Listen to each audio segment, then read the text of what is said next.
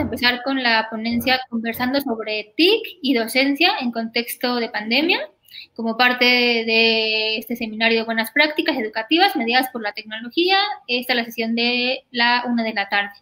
Hora de México. El ponente es Rolando Vera, él representa al grupo de investigación en didáctica y práctica de la enseñanza de las ciencias biológicas de la Universidad Nacional de Salta. Él está eh, desde Argentina y les hablo un poco de Rolando Vera. Eh, él dice que su campo de trabajo está vinculado a los siguientes espacios temáticos, enseñanza y aprendizaje de las ciencias biológicas, currículum y prácticas escolares en, contexto, programación de la enseñanza en ciencias y las TIC y la enseñanza en biología. Este, pues sin más, le doy el micrófono. Bien, hola. ¿Se me escucha bien? Hola. Hola, hola. Sí te escuchamos sin ah, ningún problema. Perfecto. Ahora comparto cámara.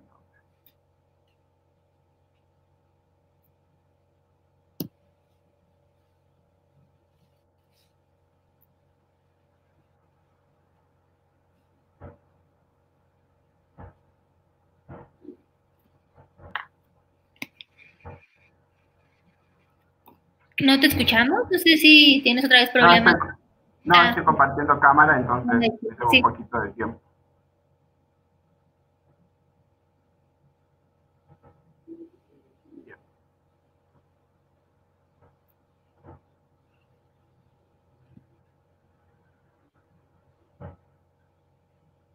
Ya se está cargando. Te comento cuando se pueda visualizar. Perfecto.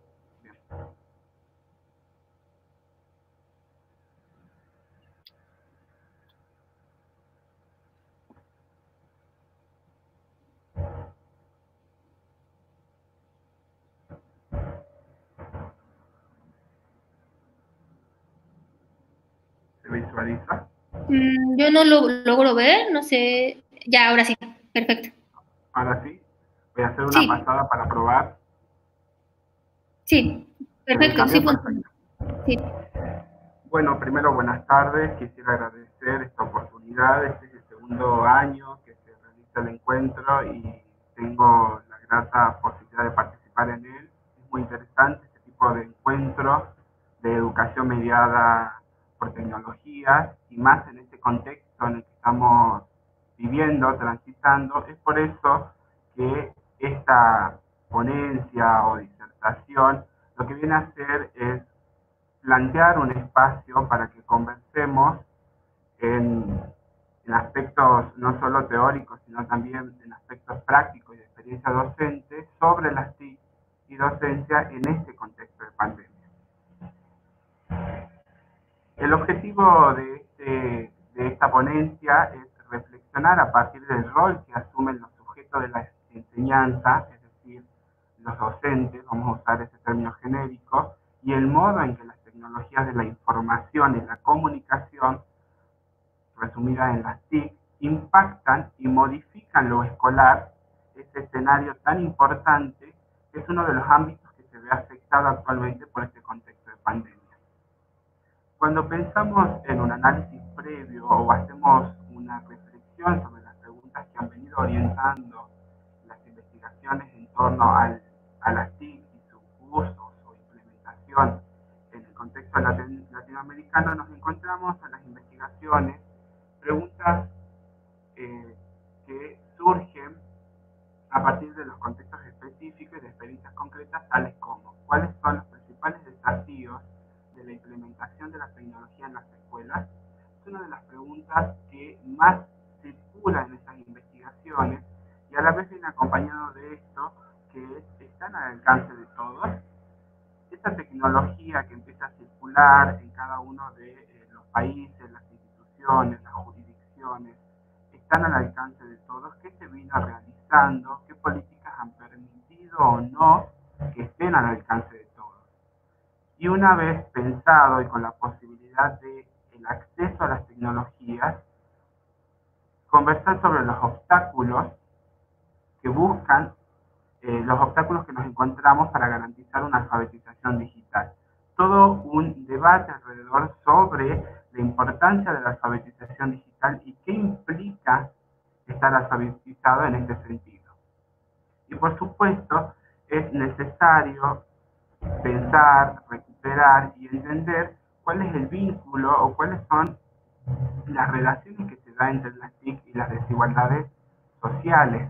Es decir, nosotros tenemos las tecnologías al alcance de todos y si están al alcance de todos o no, qué realidad habitan los contextos escolares actuales, qué está ocurriendo en este momento, en este contexto sociohistórico, en donde está siendo atravesado por una pandemia y que a la vez viene un poco a poner lupa sobre lo que está aconteciendo en nuestras instituciones y qué es lo que ocurre en cada uno de esos eh, núcleos familiares que tienen a sus estudiantes en las casas en donde lo escolar llega al hogar.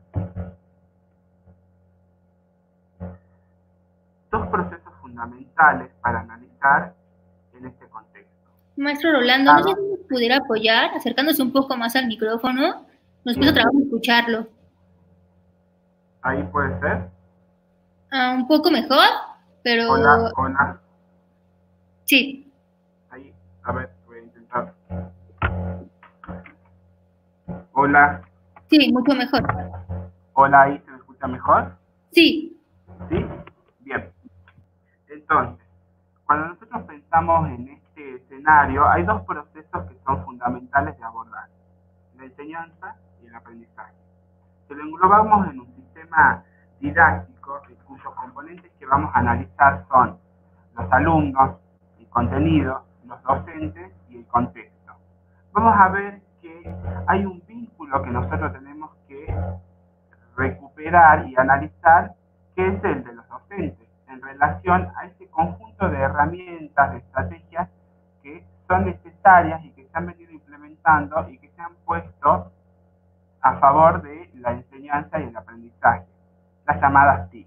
Ahora, ¿qué pasa que cuando el contexto, en este caso el contexto sociohistórico que atraviesa las instituciones, que tiene que ver con el contexto de pandemia COVID-19, ¿qué pasa o qué es lo que lo, o qué es lo que se plantea como cambio dentro de este sistema didáctico? Por supuesto que uno va a tener que ir haciendo adecuaciones, o se han venido haciendo adecuaciones en los contenidos, se han venido haciendo adecuaciones en relación a los aprendizajes, pero por lo general hay que preguntarnos si es el elemento que corresponde a los docentes la que normalmente se establece como una variable de ajuste. Entendido como una variable de ajuste es en donde se pone el foco implícitamente el mayor esfuerzo en el sentido de demandar de los docentes en este contexto la revisión de estas herramientas, de las estrategias y de dar respuestas en tanto los pensamos como agentes del Estado para dar respuesta a esto que es un derecho para todos nuestros estudiantes, que es el derecho a la educación. En la idea del alcance del derecho a la educación y en lo difícil y lo que implica que las instituciones garanticen en el ámbito educativo que la educación llegue a los estudiantes, en donde la escolarización de los sujetos se repiensa, se transforma, surge esta tensión histórica sobre las demandas que ha tenido siempre el currículo en general, sobre los cambios que se van generando en cuanto a las demandas, ya sea en cuestiones de actualizaciones, o a las demandas dadas por el contexto, particularmente este sociohistórico que nosotros estamos viviendo. La pregunta es, ¿qué reflexionamos sobre o cómo reflexionamos sobre lo que le pasa a los docentes, sobre lo que los docentes sienten y sobre los desafíos que implican la reimplementación o la implementación en muchos de los casos de las TIC para asegurar, asegurar el derecho a la educación de nuestros estudiantes en un contexto en donde la enseñanza y el aprendizaje se tornan virtuales.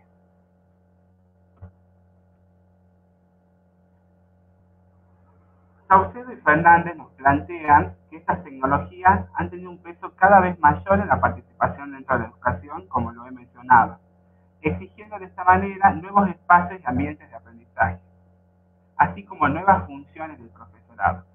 Hablo del profesorado en sentido amplio para entender a todos los espacios, las instituciones de formación. Por supuesto que la incorporación de las TIC como contenido o como uso de la misma como habilidades a desarrollar en los profesorados ha venido teniendo un mayor auge. Pero la sola inclusión en los diferentes ambientes pedagógicos no asegura una mejora en la calidad educativa.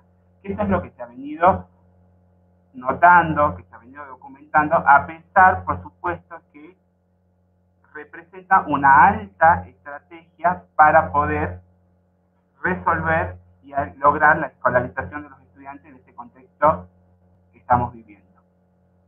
Por otro lado, la infraestructura tecnológica tampoco es garantía que se realice un uso efectivo de las TIC. En este escenario, lo que resulta importante es hacer una propuesta de trabajo combinada y recuperando lo que planteaba la profesora en la ponencia anterior, cuando uno hace una integración de estos elementos, es decir, cuando se recuperan los recursos tradicionales, se implementan los recursos tecnológicos, esto empieza a tener sentido y empieza a ser eficaz en la medida que las propuestas didáctico-pedagógicas sean sólidas. Pero ahí, cuando pensamos en las propuestas didácticos pedagógicas sólidas, vemos que el docente es el que tiene que hacer todo un trabajo un poco más, eh, si se quiere, sofisticado, repensando, reflexionando sobre lo que ha venido haciendo para poder garantizar el alcance de las actividades, el desarrollo de los contenidos, para que los estudiantes puedan llevar a cabo el desempeño de sus asignaturas y en el sentido eh, o en el fin de que se puedan ir formando e ir alfabetizando en los diferentes niveles. Estos tres elementos en su conjunto resultan necesarios e implica todo un trabajo que debe ser no solo valorado, sino que revalorado en los docentes. Por eso yo planteaba esta idea de que hay que hacer una reflexión sobre en qué, en qué elemento del sistema didáctico se plantea un ajuste y cómo acompañamos ese ajuste o esa demanda que implícita o explícitamente se tiene sobre los docentes en, este, en esta situación extraordinaria. Las preguntas que más o menos vienen guiando o busco que se pongan en tensión en esta ponencia es cuáles son los principales desafíos de la implementación de las TIC que afrontan los docentes en un contexto extraordinario como el que estamos viviendo cómo se podría acompañar a los docentes en estos procesos de adecuación de enseñanza virtual tan acelerados, porque de pronto se requiere la implementación de las TIC de manera rápida, se propone muchas situaciones de enseñanzas virtuales, porque es la que mejor ajusta en esta situación, y la pregunta es también que existe un relevamiento sobre las problemáticas de conectividad de docentes y estudiantes. La conectividad es, es uno de los problemas que más ha resaltado o que más se ha diagnosticado en estos últimos tiempos y particularmente en estos meses que hemos transitado.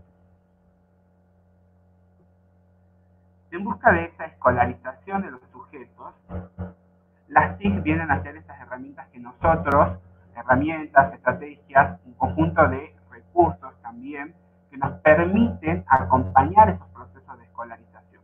Pero ocurre algo muy particular. Cuando lo escolar llega a casa, ¿qué pasa cuando también el docente en algún punto tiene que ir orientando o de qué manera puede ir orientando lo que ocurre en la casa? Si bien puede generar líneas de trabajo o propuestas, no es el mismo escenario en donde el docente puede hacer, si se quiere, una orientación, una regulación, una supervisión de cómo se van dando los aprendizajes y ir estimulando la autorregulación de esos aprendizajes. Entonces hay también una incertidumbre por parte del docente sobre lo que ocurre, más allá de que los estudiantes hagan las devoluciones, más allá de que los estudiantes propongan intercambios, ahí existe como una pequeña tensión sobre cómo registrar o cómo estar seguro de lo que ocurre o de cómo nuestros estudiantes van llevando las actividades, se cumple tal como nosotros lo proponemos o no.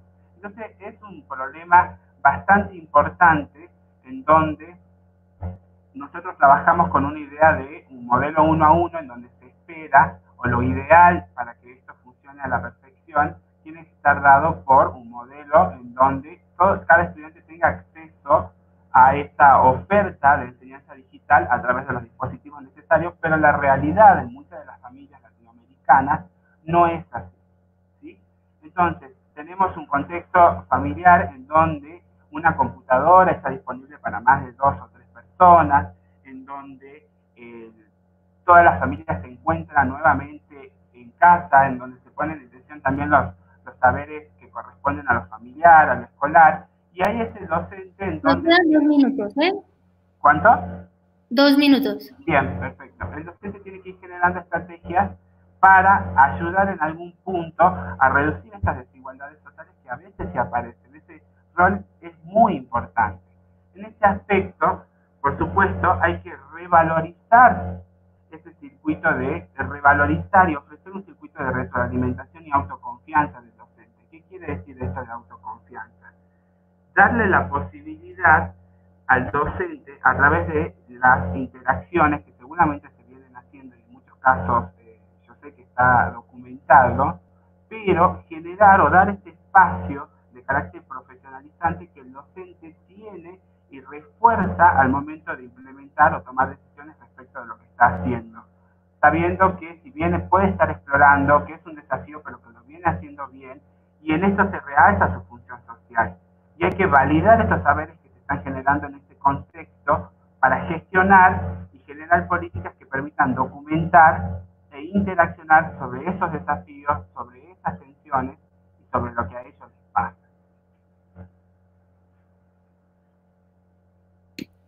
Muchísimas gracias, maestro, por su exposición. Le voy a empezar a leer las preguntas que se están generando.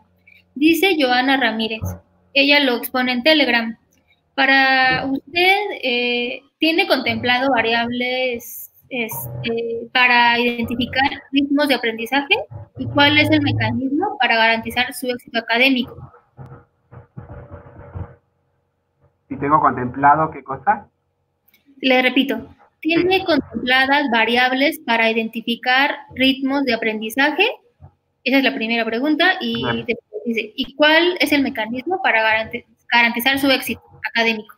Bien, ahí tenemos un problema porque nosotros reconocemos en el espacio áulico diferentes, como lo bien lo plantean, ritmos o modos de aprendizaje, pero es difícil que a través de la virtualidad se pueda, a menos que haya un contacto directo, directo me refiero en donde una recepción, un feedback directo con las demandas de aprendizaje de cada grupo o de cada uno de los estudiantes en función de estas demandas, repensar o reprogramar la propuesta.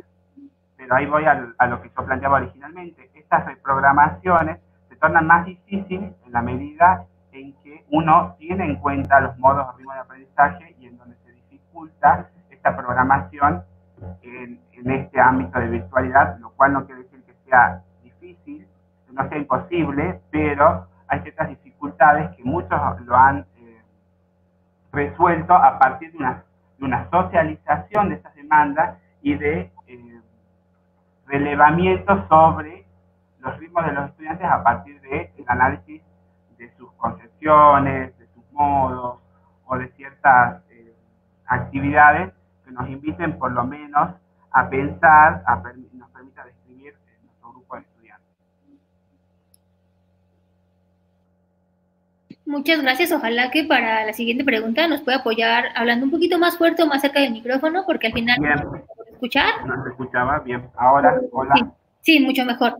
Dice este, en, también en Telegram, Iris, eh, la creatividad de cada profesor eh, perdón, la creatividad de cada profesor, la que realmente, es la que realmente hará que el uso de las TIC en particular contribuya de manera efectiva para desarrollar el aprendizaje de los alumnos. Más bien es como un comentario. Bien. También, dice, además, la desigualdad económica es real y no es correcto asumir que todos los alumnos tendrán acceso ilimitado a todas las tecnologías que se pretenden utilizar, porque en la realidad no es así. Dice Maribel, dice Maribel Rodríguez, también en Telegram, ¿cuáles son los principales retos que ha encontrado en cuanto a la adaptación del personal docente en adquirir las habilidades necesarias para el uso de las TICs en el proceso?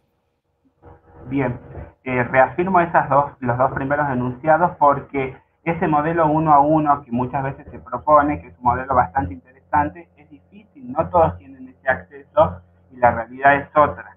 Por otro lado, la creatividad de los docentes y el modo en el que van afrontando está, está ocurriendo actualmente. Entonces, por eso yo planteo que lo importante es hacer un relevamiento sobre esas experiencias pedagógicas y recuperar ese saber práctico que los docentes van realizando, como bien lo plantea, ya sea con el uso de su creatividad, con el, con el uso de los elementos formativos que tienen y algo que yo me olvidé de mencionar, de la interacción o de la gestión o gestionar espacios en donde los docentes puedan intercambiar, porque siempre vamos a encontrar algunos docentes que tienen mayores habilidades en un sentido, en el uso práctico de algo o en el desarrollo de ciertas estrategias. Entonces, la retroalimentación como estrategia para dar a conocer lo que se está haciendo es una buena alternativa para que el docente aumente o amplíe sus eh, habilidades en el desarrollo de las clases o en el desarrollo de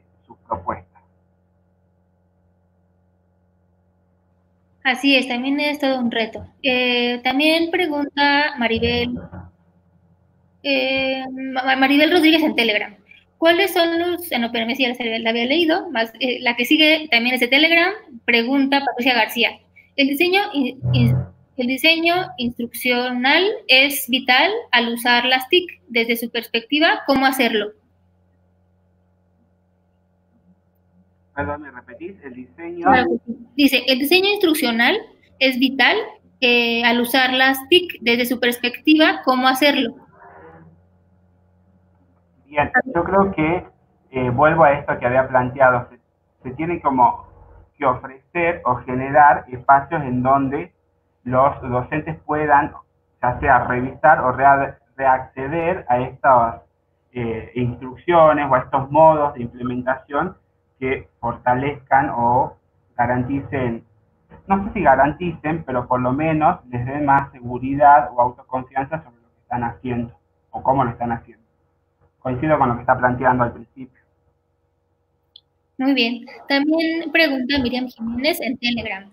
Sí. ¿Se puede considerar que los docentes deberán contemplar, aprender y capacitarse para el desarrollo de recursos didácticos y tecnológicos para aplicarlos en el aprendizaje?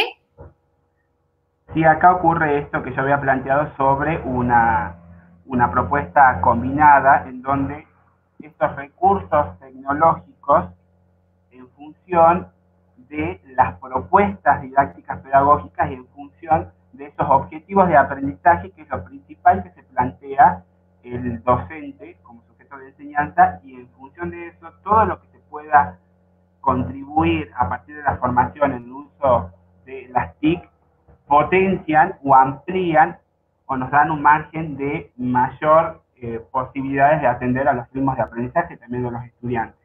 Pero siempre en respuesta a ese objetivo de aprendizaje, que es algo que viene dado por la propuesta que genera el docente, que es el resultado de su experiencia, que es el resultado de su formación, y por supuesto, lo otro, el desarrollo de las TIC, complementan y ayudan a maximizar las posibilidades en la medida de que los insumos estén eh, accesibles a las instituciones y a los estudiantes.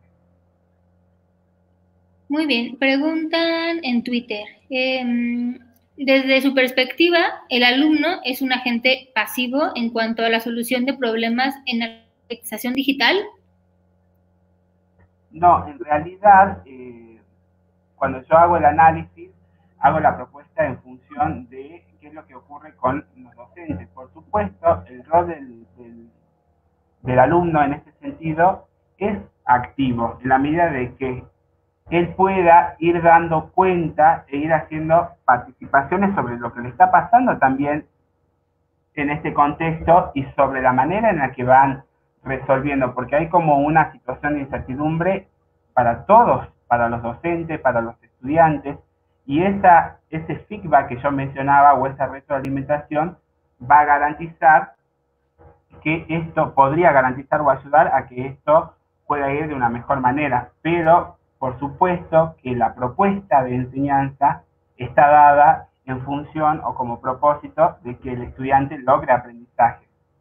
Para generar o que él construya aprendizaje, subyace la idea de su rol activo. No lo mencioné o no lo desarrollé porque la propuesta iba sobre el cuerpo docente, pero el rol, en mi perspectiva, del, estudiante es activo y el feedback o retroalimentación con los, con los docentes y la información que ellos puedan dar sobre sus procesos de aprendizaje, sobre sus construcciones, son completamente valiosos para también ver el alcance de estas herramientas. Muchas gracias, eh, maestro. Pues ya nos queda solo un minutito, entonces voy a dar lectura a la última pregunta. Dice Karen Amezcua, desde Telegram, ¿a qué nivel educativo pertenecen los docentes y cuáles han sido sus resultados? Eh, el análisis o la la propuesta viene a partir de experiencias de docentes eh, nivel secundario y nivel superior. ¿sí? Nivel secundario y superior. Es decir, las experiencias que han permitido eh, llevar a esta reflexión, ¿no?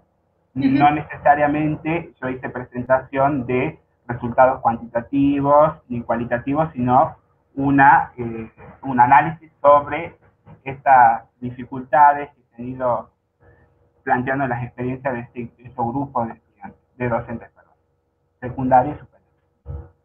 Muy bien, muchísimas gracias. Pues hay algunas otras preguntas que ojalá pueda eh, mirar en chat de Telegram, incluso en Twitter, para poder seguir como con esa discusión. Le agradezco mucho su participación. Este,